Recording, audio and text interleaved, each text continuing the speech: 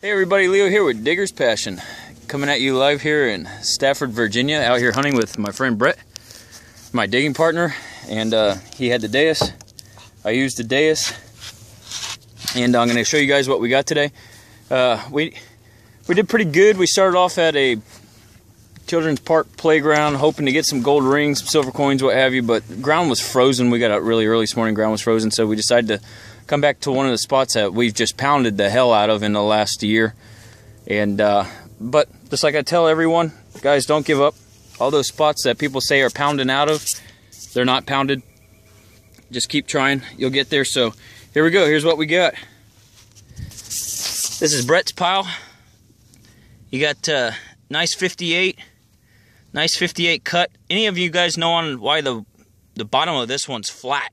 Usually they're a high base, a low base, um, star base. There's there's many different bases, but this one just cut flat. I don't understand what's up with that. You got another piece that's cut. It's a nice piece. We haven't cleaned this up yet.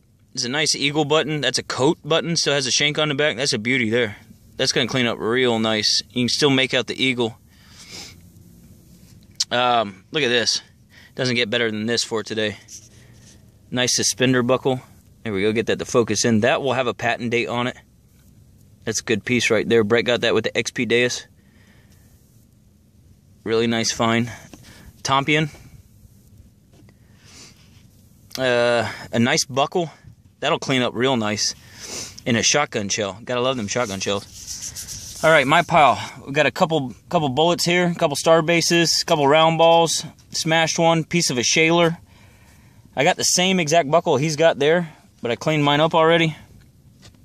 A trouser button, and that's it. So we got a total of 8, 9, 10, 11 bullets today, two buttons, a tompion, and a suspender buckle. This is the best find of the day right here. It's just a damn beauty. I'm hoping this will focus in for you guys so you can see the... There we go. See the design on it? It's It's got an ornate design on it, so it's an early piece. It's a real early one. It's got a little patent date on the top too. So anyways, here, here's a video today, guys. Appreciate you watching. I'm going to cut it short. We're getting ready to get out of here. We're hungry. You seen some of the finds. See you at the next great find. See you guys.